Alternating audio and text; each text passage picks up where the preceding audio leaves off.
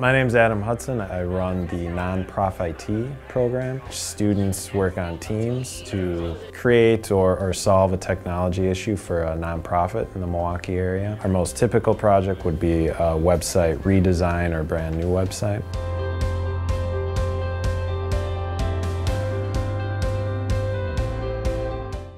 There's a lot of sites that we handle are sites that you know are outdated. They are they have a site, but they're, they were developed you know in the early 90s or mid 90s. That has to be up to date. It has to be your presence. Your donors go there. That is what they see the first. A lot of times, the first thing they do is Google. We raise money for spinal cord injury research and help others out with neurological disorders. We've had an outdated website, so it's really cool that UWM is putting this on and willing to help with this update and with this new site people see us more as being current, up to date, and gives us just a little bit more credibility.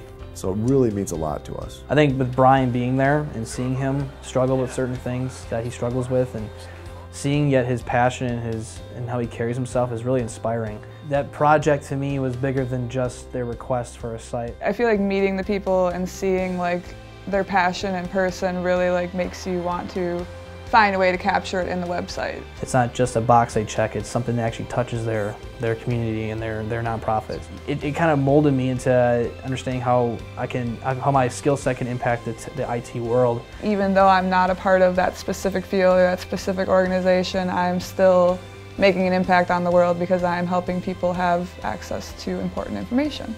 And one of the university's missions really is to engage in the community and benefit the community. And to me, there's really no greater example of that than this program. It's amazing how creative and knowledgeable they really are.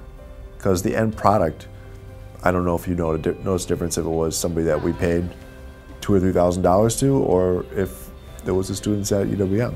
The biggest impact on me personally, I would say, is just the confidence of my skills. You actually get a project to add to your portfolio. Like when you're done, it's, it's a real project, you're working on a real thing. Without the Nonprof-IT program, I don't feel like I would have anything in my portfolio. This uh, experience definitely helped me get a job. That was one of the first questions they asked me in my interview was, also you develop websites, you work in nonprofits, so that's great. You know, IT is more than just sitting behind a computer and putting in code. It's, it's you can really help others.